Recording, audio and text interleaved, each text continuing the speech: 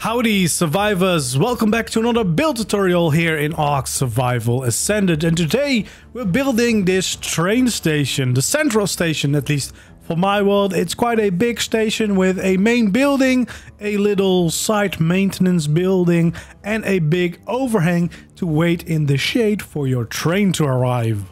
Now this build does include a little bit of overlapping into other structures so I don't believe this is possible unofficial, but maybe with a few alterations you should still be able to build this yourself if you want to use it on official. Before we get started, if you want to show your support for these build tutorials, make sure you like the video, subscribe to my channel, maybe leave a comment, and if you want to show even more support, the best way to do that is to become a YouTube member. Tier 2 actually gets early access to all the videos that I make. Let's get to building.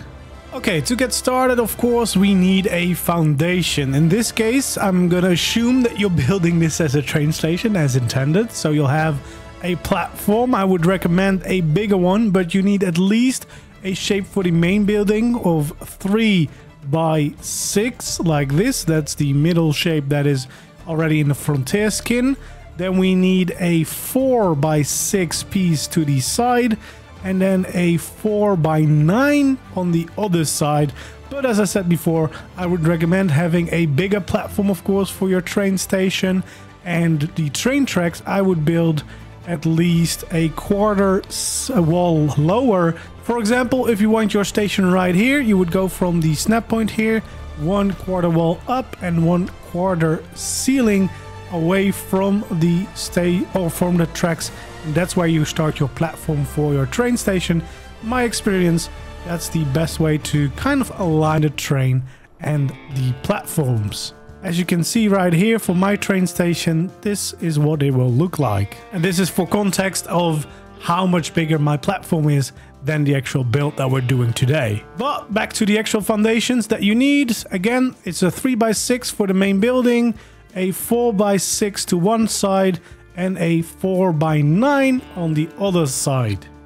And then we'll get started right here by adding in some thin pillars on these two right here, so the corners of this first bit. Then have a gap of 3 and another pillar and a gap of 3 and another one. We'll do the same here on the other side. This is where our kind of overhang is going to be where you can wait for the train. We'll have another gap of three pillar, gap of three pillar, gap of three, and another pillar on the other side as well. Basically creating all the shapes for the overhang that we'll have in a little bit. Now to make this a little bit easier, start by placing down a wall right here. Then we'll take out our ramp and snap it to this like so. We can take out the wall, the ramp should stay. And then you can start with adding this little overhang here on this side of the build. And then of course, we'll do the same thing here on the other side. This is the easy part of the build for sure. But you know, if you're waiting for the train and it's on scorched earth, you definitely want to make sure that you've got some shade. I will also add in a beam across the top here to add in some extra detail. And we'll have some quarter ceilings along the side just to make it look a little bit nicer and have a little bit of an overhang from the pillars that we have. Of course, we want to do that on both sides. And that's actually all we need to do, almost all we need to do for this side portion. We want to take out some railings and add them underneath to act as supports for this structure. And you want to do this everywhere to align with the pillars we've placed down except for the last one. Obviously, that's where the building is going to go, so we don't need any support there. And that is the little first side bit that we're working on. Now it's time to get started on the main structure. We're actually going to take out a quarter wall. We're going to have it right over here, so one quarter wall away from that pillar. And we want to start out by creating a little shape like this. So four in total. We're going to have two more right here. This is where we're going to place a full wall on top of it. We're going to have a door right next to that. And then we'll continue our quarter walls like so. And then we're actually going to create a custom window here. So we'll go up like this again. We'll fill in this with more quarter walls like so. And of course, have them above this door as well. Okay, then we'll add in a normal wall right here as well. And a tall doorway right here for our custom window. The way you create those is getting the snap point with a thin pillar like so, sticking into the door frame. Then another one on top. And then two thin pillars connected to either side like this. And it's just a nice way to add in a custom taller window than the default ones we got. Then we want to take out some pillars and connect them here to the corners of the build and have a beam going across like so. So that we basically frame this entire wall that we have. And if you prefer, you can also add some uh, beams on the bottom and the top of the window. I just like the way it adds a little bit more depth and detail to the window and the wall. And of course, we'll add in a door right there as well. That's one wall done for now. Of course, we're gonna go a little bit higher than this. Okay, here at the back, we actually want to also add in the thin pillars on these places right here. So just outside of the building. Then we want to use a temporary wall right here so we can place down some more ramps like this. This is going to go into the building. We'll have a little bit of overlapping going on there. We'll do the same right here, but here we can just connect the ramps that we already had going from the side building that we've just made. And now we can start adding in some walls. We want to snap from the pillar right here in the corner. We can have a wall on top of each other, then connect the walls like this and leave the middle part for some nice double doors like so. And we'll do the exact same thing here on the other side. So we'll have to start from the pillar, snap in these walls like so and then add in the double door again for the actual doors. I like to use saloon door skins, but we'll get to that later on. So yeah, we'll have a little bit of an overlap going into the building, but um, nothing too crazy. And it just adds a little nice little ridge on the outside here as well. Then we want to add in pillars to the corners of these walls as well. And then it's time to start the side part of the building on this side. We start with some quarter walls all on top of each other next to the pillars on both sides. Here we actually are going to design one of those custom window shapes again. Here on this side we're going to start with a normal wall and then a doorway right next to it. Here we'll connect some more of these quarter walls and then the top we can also completely connect all the way and of course fill in this little gap right there. We'll have a normal wall right here and then the tall doorway right there for another one of these custom windows that we did on the other side as well just because I like the look of those tall windows. And we'll add some beams across the top there as well and we can connect the rest of this shape and layer with the beams as well as here on the front and the back. I'll fill in the door right here already too. And now it's time to start adding in our ceilings here. And we want to make sure that we line them up with this layer of the quarter wall. So right here. So basically right on top where these ramps end.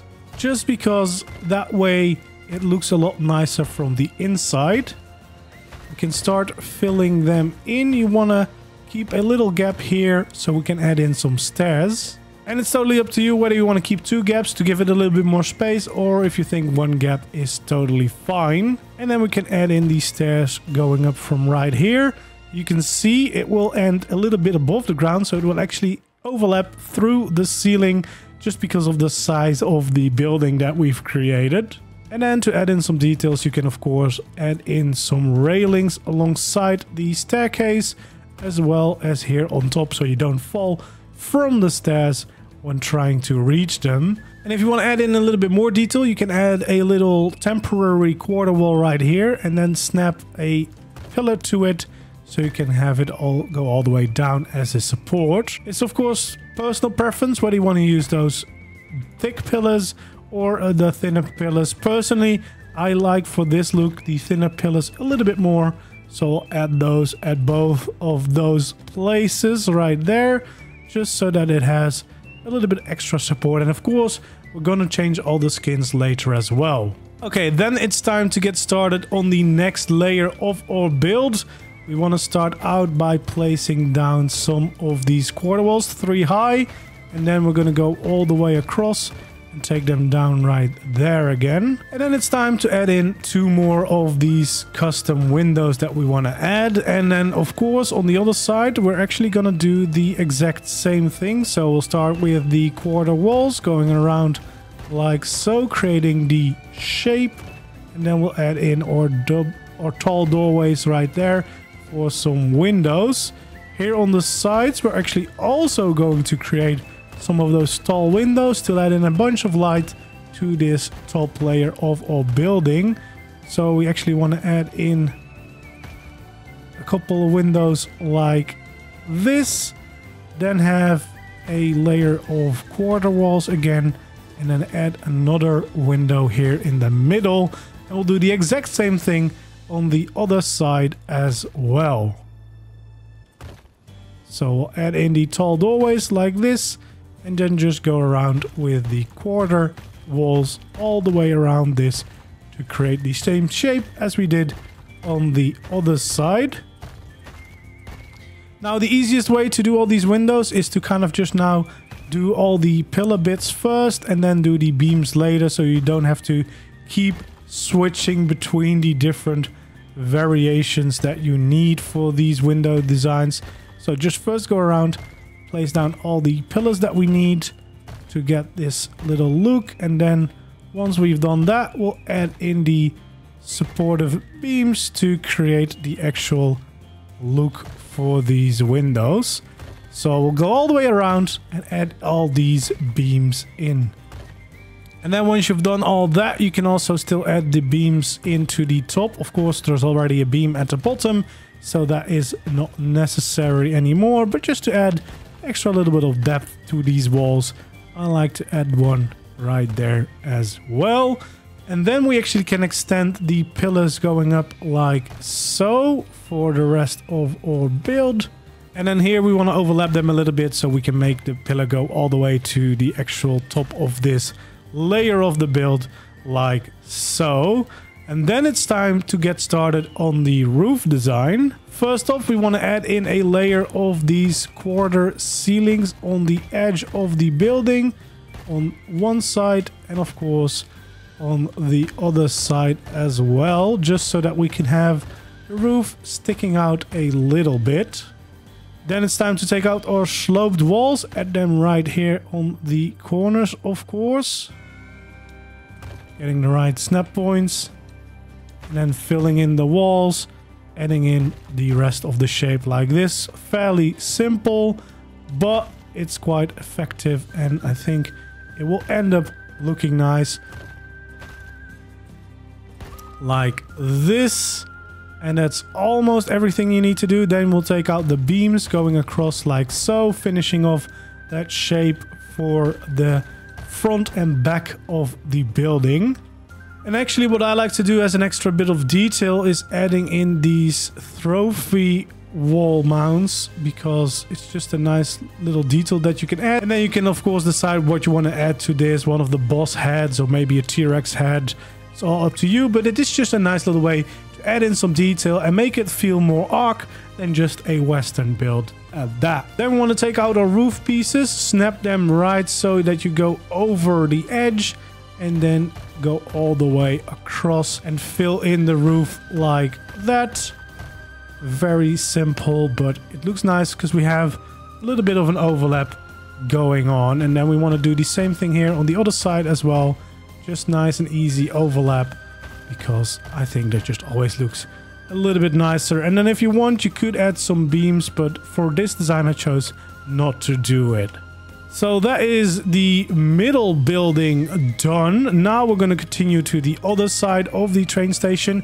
Here we actually want to extend this layer of quarter ceilings as well to extend to all the way of the front of the building. We'll take out the ramps again and start continuing this shape and you can probably guess it. We'll continue this little overhang to create some shade. But on this side, we're actually going to build like a little staff, like maintenance building underneath it. So you have a little bit of extra room, extra buildings here in the station. So we start, of course, by building all this.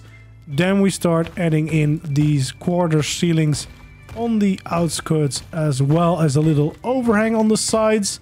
On the other side, of course, we want to make sure that we do the same thing, connecting them back up with the building over here. And then even though this little ledge doesn't line up, I still would add the quarter ceilings to the edge just to extend it a little bit further there as well.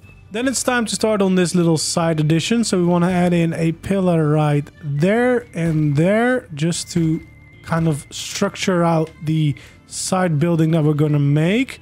We're going to have a normal full wall here on both sides. And then we're to have some quarter walls on top of that to fill that all in. And we'll have another layer of pillars going right there. Okay, then what we want to do is we want to add in some quarter walls right here. Four of them next to each other. And then actually also here at the top of the building as well. These we can actually continue to extra. And then we'll have normal walls underneath that again. So we'll do the same here on this side. Start with normal wall. Connect them up with the quarter walls and some quarter walls here down there as well. And then we actually want to just snap in normal walls into this wall like this. You'll see in a little bit later why we done that. And then we want to add in pillars here as well, just to differentiate. And then here pillars on the end of the wall as well. We'll have a normal wall and then a door right next to it, as well as some more quarter walls on top of here to finish off this building. Unfortunately, there is no sloped wall that goes for this steepness, so we'll have to snap some of these railings into it to kind of fill in the gap anyway. We also want to add in the railings right here as the supports, and of course here underneath as more supports on the end of the build as well. And we can finally add in the door right here.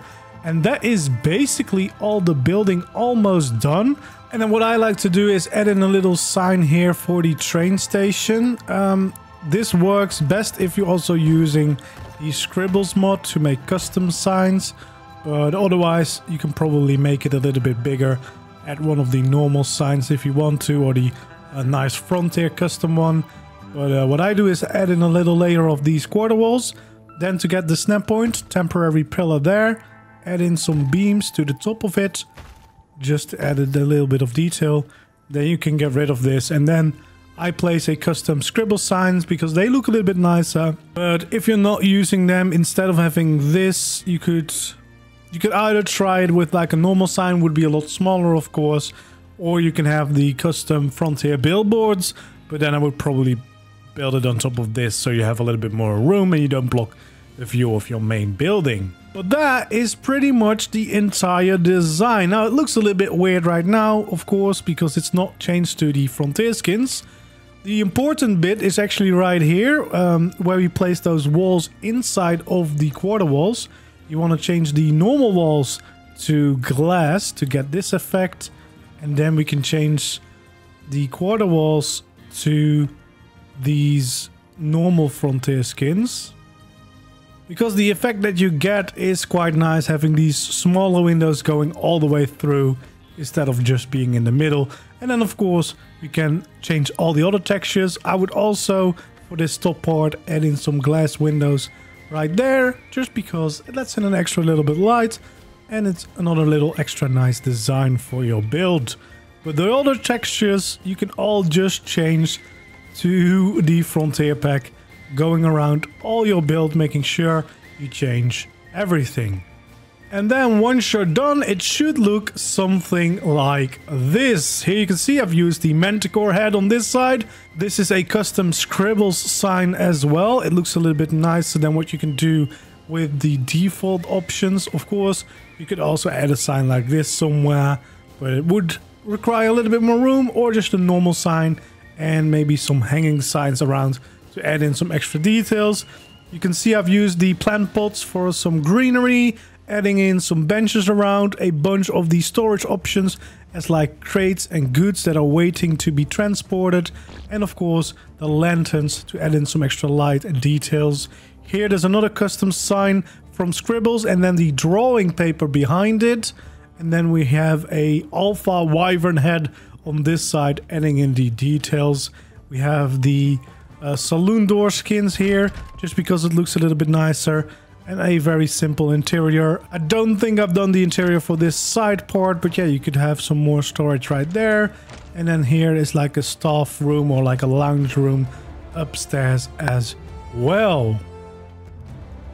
But more importantly, of course, you have a nice little addition for a train station if you want to make one.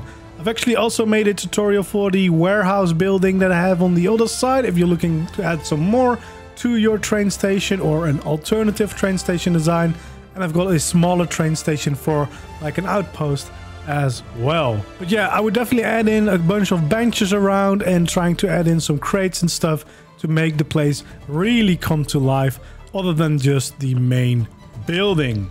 And with that being said, that's going to be it for this tutorial. Hopefully you enjoyed. If you did, don't forget to leave a like, subscribe to my channel if you haven't already, and hopefully I'll see you in the next build tutorial.